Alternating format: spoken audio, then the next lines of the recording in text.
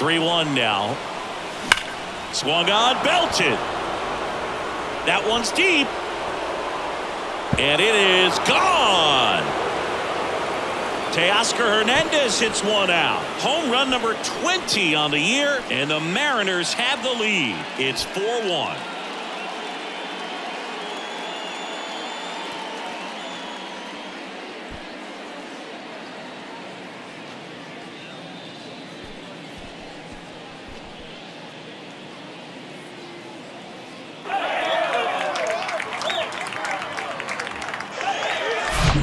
Knew what pitch he wanted to hit. Spit on some other pitches in this at bat. Was very patient, and it paid off.